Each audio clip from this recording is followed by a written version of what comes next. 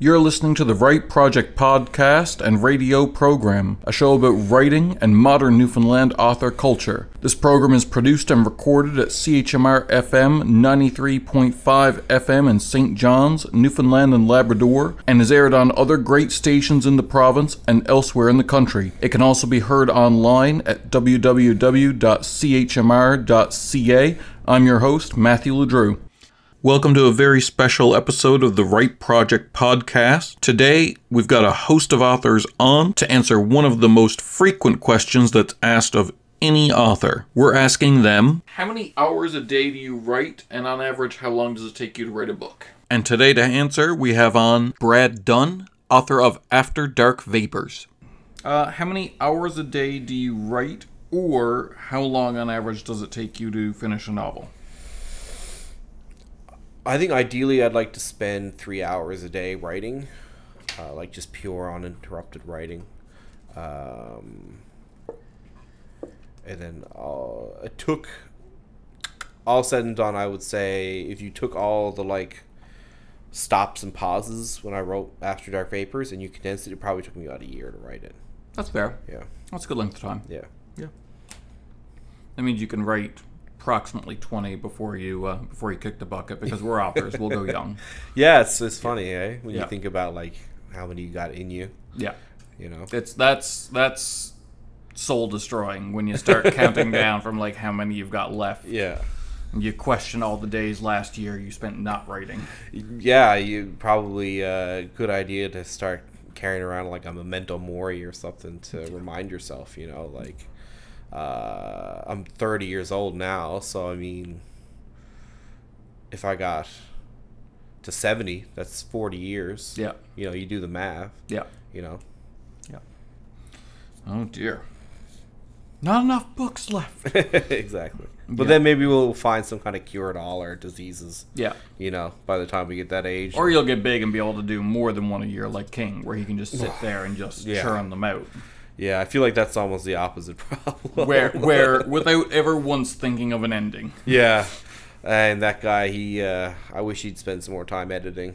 I do. As I, well. I love, I love I Stephen love King, him. but man, like I've read his most recent novel, uh, The Outsider, Yeah. and it's like I'm just like, man, you need an editor. Like, I don't know, like I guess there's no one. Can you? I mean, you're you do some editing work. Yeah. You've you've done some work for us even over so far, and we're gonna get you to do more soon because it was wonderful. But um, it's got to be hard to edit King at this point. Like, can you imagine if you got hired to do that right now? Like, how do you say to King, you know, maybe all your characters don't need to be authors?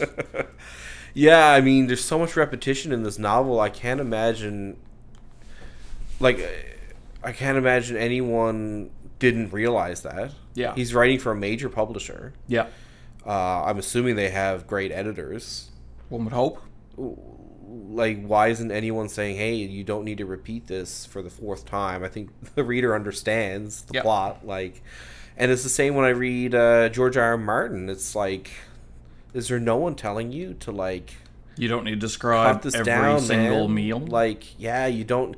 I know you have this nice reference material you want to show off, but like, you don't need to spend a whole page describing Tywin Lannister's armor. Yeah, You know, like totally interrupting the battle. yeah. It, it's it is a major issue with uh, with both of them. So is- it like uh, that's what I would love to know is that like is it that these publishers are afraid of their authors? Is it that the authors don't want to hear it? Like I don't know. Maybe um, it's entirely possible. There's also some. I mean, once someone's sold, a, you know, hundreds of millions of copies doing one style, Yeah. then it's like, well, clearly it works. So let's not mess with it. yeah, Even if that's a good point too. realistically, Yeah. like you can find flaws in it. Yeah. Yeah. Because at the end of the day, the editors are employed by the publisher, and the publisher just wants to make the money. Yeah, yeah. I almost wonder if it that's more of it is that we don't want to accidentally kill the golden goose. Yeah. It's like Stephen King just just let him off the leash. Mm-hmm. Let him just write whatever nonsense he wants to write. There's that there's that famous Family Guy thing where he's like, "It's a killer lamp." Rah, rah, rah. Uh, there was a story. I remember someone asked him. I, maybe it was about that Family Guy episode, and they said, you know, it's one of those like, where do you get your ideas? Yep. And there was a story where he's like, he's like, I was washing the dishes, and I thought, what would happen if a finger just started coming out of the sink? Yeah. And I wrote a story about it. Yeah. And it's like the guy tries to cut the finger off, and like all of a sudden, it's like that's how he writes, you know. Yeah. And it's just, uh, I feel like he is totally. There's no block between what his brain says and what his hand does. Yeah. It's just pure output. Yeah. Like it just goes out, you know. Which is admirable in oh a yeah. way. Yeah. But in a, like, if I had that image of like the finger coming up, I and I'm not saying I'm better than King by any stretch of the imagination, Right. But that would be something that I would file away and I would put in a story, like in a larger story with better with themes and stuff like that. I'd do Yeah. a thing where the character has an anxiety dream, and that's the anxiety dream, and Yeah. I would put all that same cool imagery and stuff like that in there. But Yeah. yeah, I, you know, it's uh, it's hard to criticize because he's he's him. You know what if I mean? you if you're a, if you, you don't like the kind of stuff that Stephen King writes and you want to be a writer, I would still suggest reading Stephen King because it should embolden you to just chase whatever insane idea that pops into your head At the same and see where it goes. I wrote Like, my thesis on the Dark Tower. I mean, Right. there's as much as I find flaws with a lot of his work. That's one thing that I'm like, no, no, no. yeah. This is everything. like my favorite Stephen King book will always be It because it was such a special like I read it at such a like special time in my life that Yep. it really like uh, and like I read I think I was like 13 or 14 years old and feeling like I've never read anything like this. Yeah. I didn't know you were allowed to write this kind of stuff. Yeah. like the, the the real book will never be turned into a movie. Well, a it can't show. be for a couple, a few scenes. really can't be. There's one. I mean the the infamous like The- we know the scene. the infamous scene that I'm sure people know what I'm talking about. Yeah. But there's other stuff like uh, like crazy parents getting possessed by Pennywise and throwing their baby in the toilet. Yeah. Like that's like you could never put that on television. No. You could never put that on screen. Like like American Horror Story pushes the envelope. They'll never have something like that on it. No. You know? And you know, and, and that other scene included, it's like you could never write that unless you just turned off that inner editor in your brain. By the same and it's like you know that obviously goes too far but then i feel like that at the same time that brings with it all the great scenes with pennywise and, and all the great stuff that that king does. But you know it would be nice if you had an editor every now and then be like well Maybe, you don't need to do this. maybe we don't need that Steven, did you think of an ending before you started writing your ending? yeah. Have you ever read Needful Things? no Oh my lord, the ending of Needful Things. Read it just for the like, because you're. I mean, that's a newer one right no, that was uh, late '80s, early Oh, okay. '90s, but it was um, uh, when you're writing. I mean, or sorry, when you're watching a movie or reading a book, you can't help but your your brain has a predictive nature to it. Right. So you see things happening, and you guessed, okay, based on the dominoes that have started to fall. Here's where I think's going to go. Right, yeah. And in a good novel or a very well written novel, then there'll be a twist at the end, but the dominoes it'll still have a cause and effect motion Yeah. where it's like, oh, this the ending still makes sense. It's just not what you thought was going to happen. yeah King's endings, man, it's just like set the dominoes up, set them going. At the end, completely ignore the dominoes, get at your chest set. yeah. He uh, he's he's got a thing about endings. I've I've seen a lot of interviews where he talks about uh, like endings. Yep. I know that um, oh, what's the guy who wrote like Cider House Rules? Yep. John Irving, I think his name is. Yep. Well, Irving, I think Irving writes his endings first, Sounds like a good way to do it. and Stephen King apparently thinks that's like absolute blasphemy. Like he's like I save my endings till I get to them, which is probably why they're so crazy. He doesn't save them though. Yeah. They just he's like, well, I guess this book's done now. yeah. On to the next one. like like needful things spoilers ends with uh, a sheriff making shadow puppets to scare the devil out of town Right. like he just apropos of nothing just Yeah. makes a, a dog as a shadow puppet and the devil runs away yeah, I mean, and then there's the stand with like the hand of God and stuff. and, yeah, that was ill advised. there's so much that's ill advised um thank you very much Next on the line, we have Jed MacKay, a storied author for Marvel Comics of all places. He has written three volumes of his ongoing series Black Cat, a spin off of the popular Spider Man franchise. He's also currently writing Taskmaster, a villain series focused on the villain from the upcoming Black Widow movie in the Marvel Cinematic Universe, and he's written short fiction for Dystopia from the Rock. Uh, Jed MacKay, how many hours a day do you write on average? Oh, honestly, depends on the day. Um, it all, I mean, it depends. It's like mining, you know. Sometimes you you're scrambling and hustling. You can only get uh, a few nuggets. Other times you tap into a rich seam. You can just go all day. Um, so yeah, it's it. I think it's just varies so wildly. There's you know there's days I don't get any writing done just because of you know I have other things I need to do. I have chores, got stuff I gotta take care of. Uh, other days I'll I'll work basically all day. Okay. Awesome. Sounds good.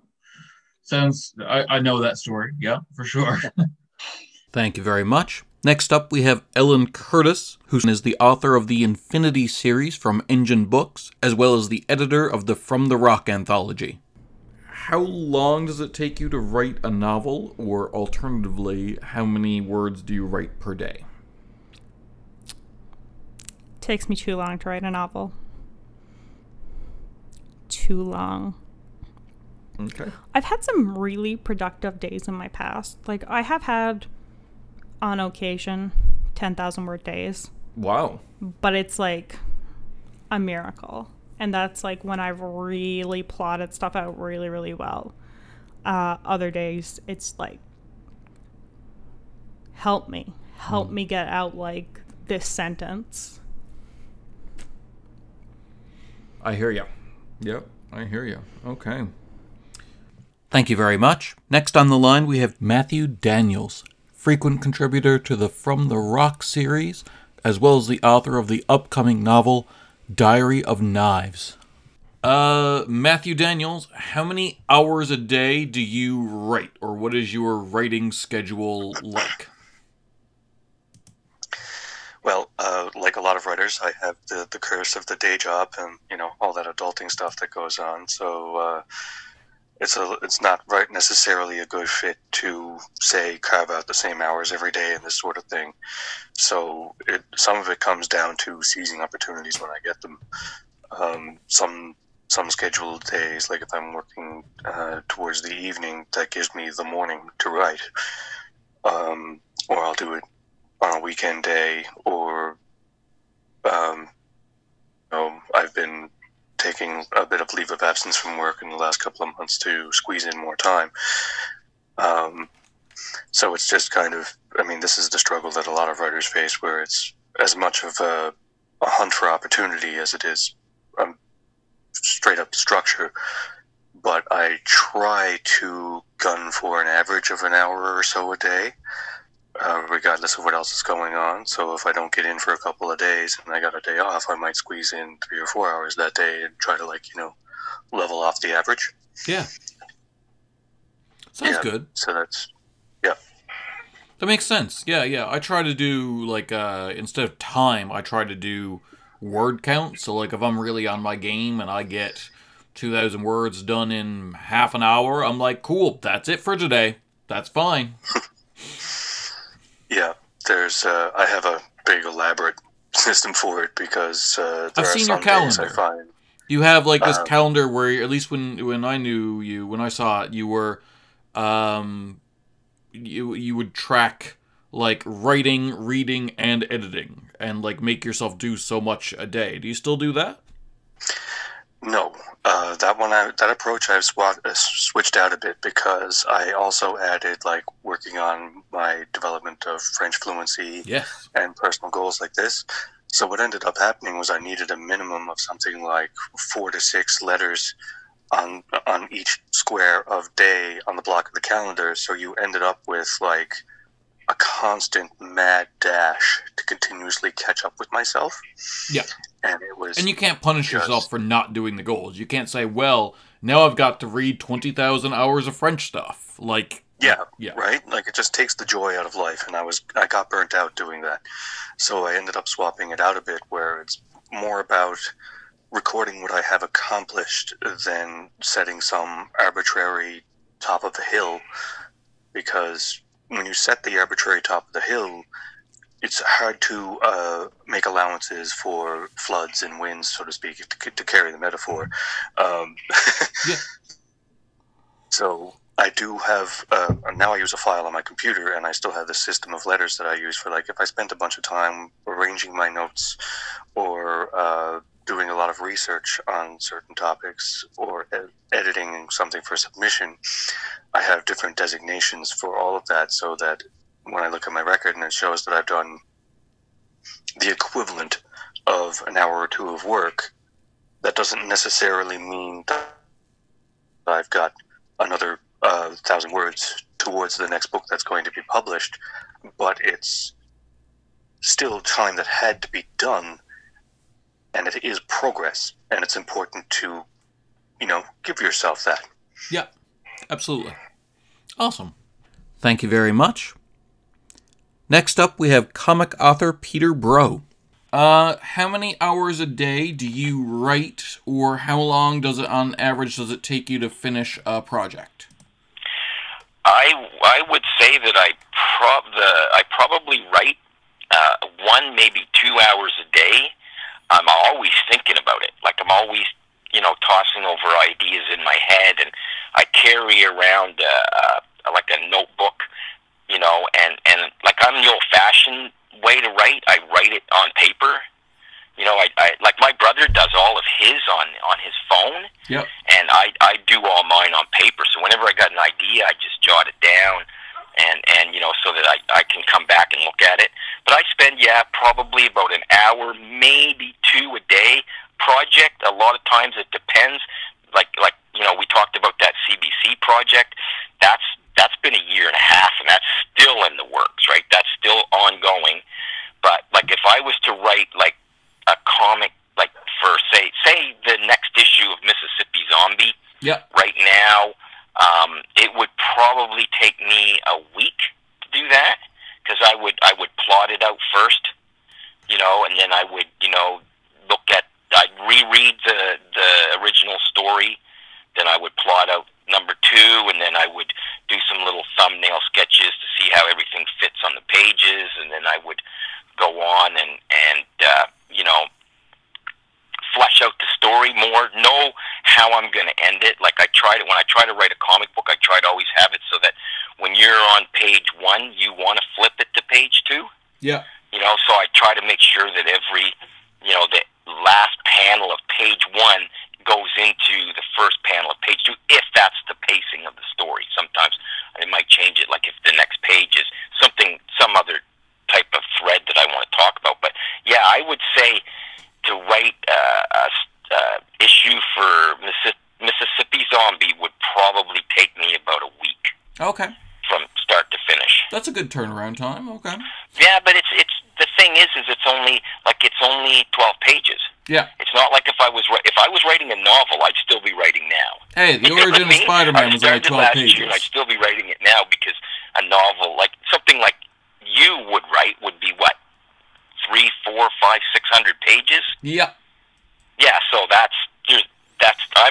12. yeah, well, the origin of Spider-Man was only 15 pages. Don't knock 12 yeah. pages. Like, oh, just... no, no. No, I'm not knocking 12 pages because I can put an awful lot of information in one of those panels. Yeah, exactly. You know?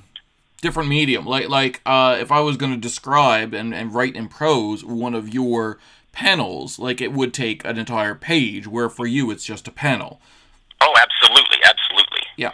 You know, the artist is doing the bulk of the work. I'm just, I'm just directing it. Yep. Yeah. Thank you very much. Next on the line, we have Josh Connors. Uh, he is the author of Small Town Queer, both the uh, play and the adaptation. Uh, Josh Connors, how many hours a day do you write? Uh, right now it's been four, four and a half, and then I usually take breaks because my brain gets muddy. That's fair.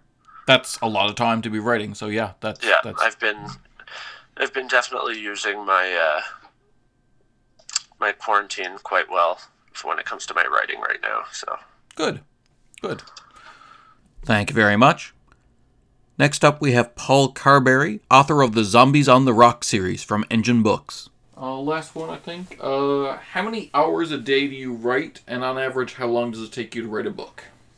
varies. Uh, sometimes I can write for a half hour, and when I'm done, I'm just I don't push myself. I don't like I do. That's why I set my word count so low. Yeah. So that like I pretty much I'm gonna make it even if I'm having a rough day. That's smart. I give that advice to authors all the time. Make it something you can achieve. Right. So I don't want to like push myself so that I'm to the point where I get frustrated or because then you take longer breaks. Yeah. And uh, I try to write a novel maybe over the span of a year. Yeah. Uh, especially the first draft takes the longest. Yeah.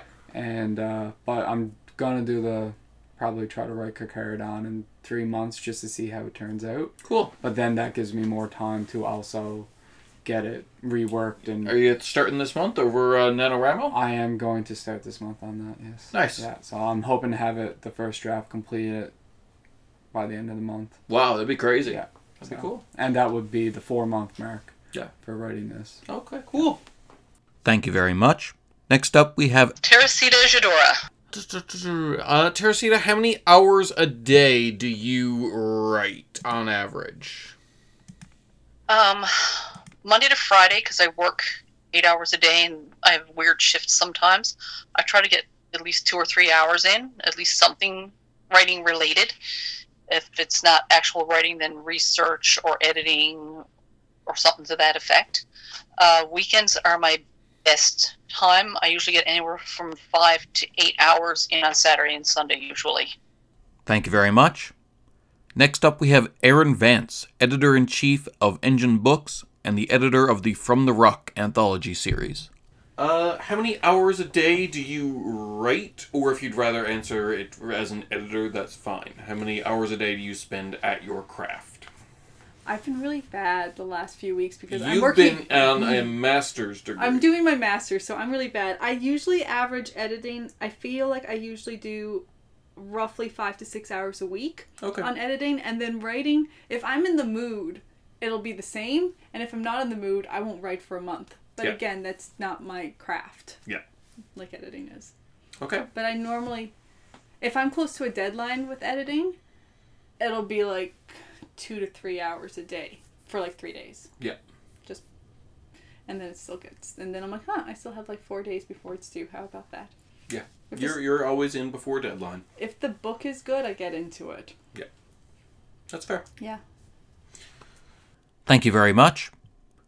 Next on the line, we have Chelsea Bee, author of London Calling and Christmas Mornings. How many hours a day do you write? Uh, zero. No. Um, it depends on. I I don't write every day. Like I try to, but like let's be honest, I don't. Um, I try to. I when I write every day, it's normally for a word count, and I can sprint 500 words in 15 minutes on average. So if I could do that for half an hour a day, I'd be really happy.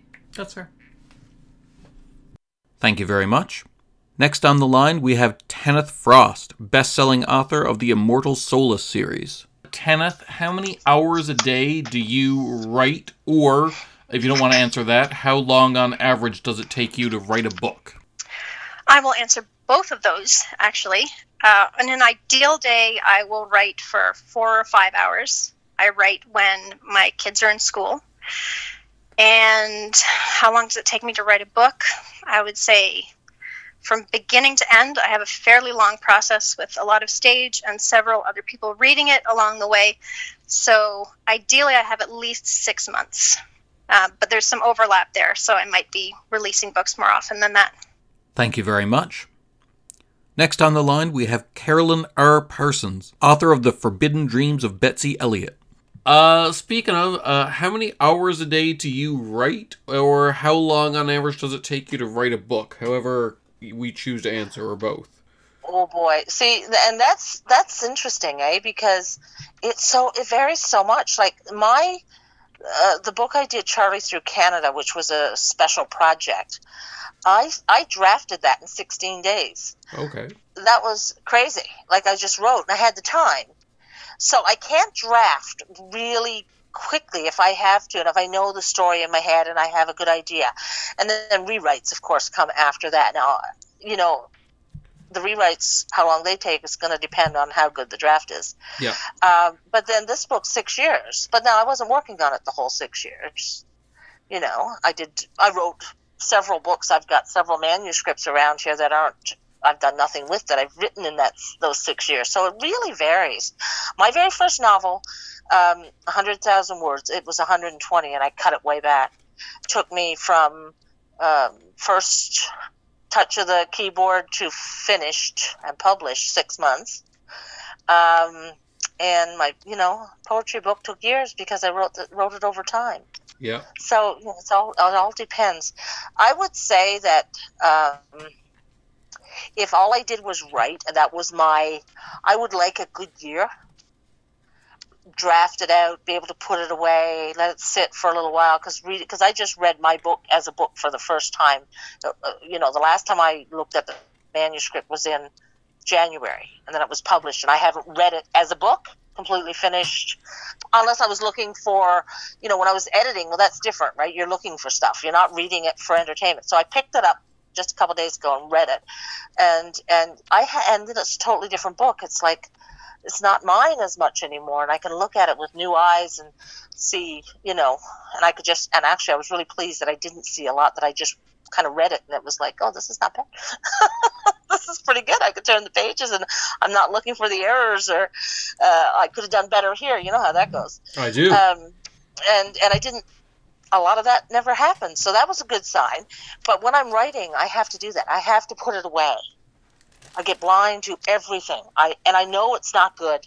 But I can't tell you what's wrong with it. Do you know what I mean? Like there's like I need to do something more with this character, but I can't even tell you what I need to do with that character. I just know he's not good enough yet, and I put it away. And then when I pull it out, I see all sorts of possibility because it's it's not in my brain anymore. So I might have to do that two or three times for me to feel like the book has some depth and the characters have some layers. And I, I would like a good year, and uh, but you you can do other things during that period of time, right? So they can overlap. Oh yeah, you could easily Yeah. um, turn Yeah. around and and what's the word I'm looking for? You could you could work on another book in that year during the break from that I've book. done. Yeah, uh, that's kind of what I've done. Is I've put it away, and then I pull out another, and I start doing something else, and then I might draft that one, and then I might put that one away, and then I'm, and then I might go back to the other one and pull it out and do some rewrites, and I might put it away again. That's how I work, and everybody does things differently. Um, so I'm always writing. I'm always writing something, but I'm not necessarily working on something anybody's going to see real quickly. Yeah. Um, but that said, I still produce something almost every year. Last year was the first year I didn't put a book out last year at all. Um, Shocking, I Carolyn. put a short story book out in the fall the year before, and then all of last year I didn't um, publish a book. But I mean, I did work, but I was I was doing stuff for the paper, and I was working on the novel for Flanker, and uh, I wanted to get that ready for submission. I didn't know what I was going to do with it, and I thought this is a good home. Flankers, it's it. Sometimes when you're writing stuff, it fits different. Like I self-published some. I uh, had a publisher originally, uh, you know, on the mainland, and this book was really my first Newfoundland book Yeah. and I thought Flanker is a, is a good home for that one. Historical fiction, I mean, you know. It's okay. And, yeah. um, and so I really wanted to get it out this year, so I kind of focused on it. So this is the year I'm going to finish the Betsy book and send it off to Flanker and kind of apologized and said it's not what it needs to be, but I'm, you know, but they loved it, and uh, I worked with Donna Morrissey, and we got it where I need. She she picked up right away. She says it's almost like you know, and I'd be like, yeah, that's exactly right. I'm not quite sure, and, and you know, just having someone to talk to who gets it, who writes the same kind of books or similar, um, was very helpful. She was fantastic, and uh, so it's out. It's it's out there in the world, and yeah. So yeah, that's I'd like a year for six is too long. I mean, sometimes you might lose. If Betsy wasn't so imprinted on my brain, I might have lost all. Yeah. you know, use that momentum a little bit. But uh, Yeah, that's a good that's a good pace. Okay. Sounds good. All right. Well, thanks for coming on again. For all of you, we'll be here again next week at 4:30 Newfoundland time or online at chmr.ca. Please tune in and we'll talk more about writing culture in Newfoundland.